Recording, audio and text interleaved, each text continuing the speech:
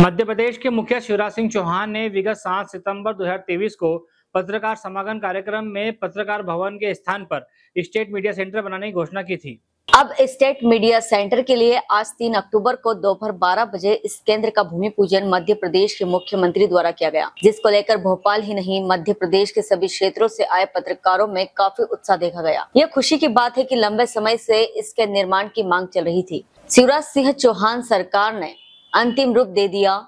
इसके लिए पत्रकारों ने सीएम को बधाई दी। लगभग साढ़े अट्ठावी करोड़ की लागत से बनने वाले स्टेट मीडिया सेंटर में पत्रकारों की सुविधा के लिए अत्यधिक सुविधा पाने का अवसर मिलेगा। इस केंद्र से पत्रकारिता की समझ रखने वाले बुज़ुर्ग पत्रकारों के अनुभव का लाभ भी नई पीढ़ी के पत्रकारों को मिलेगा। प्रदेश के दूरस्थ जिलों से आने वाले पत्रकारों को ठहरने के लिए सभी सुविधाएँ उपलब्ध रहेगी। स्टेट मीडिया सेंटर से भूमि पूजन के कार्यक्रम में प्रदेश के अनेकों स्थानों से आए पत्रकार एवं विदिशा ज़िले से इलेक्ट्रॉनिक मीडिया संघ के पत्रकार साथी इस कार्यक्रम में उपस्थित रहे।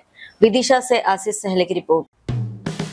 हेलो फ्रेंड्स आप देख रहे हैं हमारा channel S W twenty four news हमारे सारे वीडियो सबसे पहले देखने के लिए आप हमारे चैनल को सब्सक्राइब करें और पास में लगे बेल आइकन को दबाना बिल्कुल भी ना भूलें।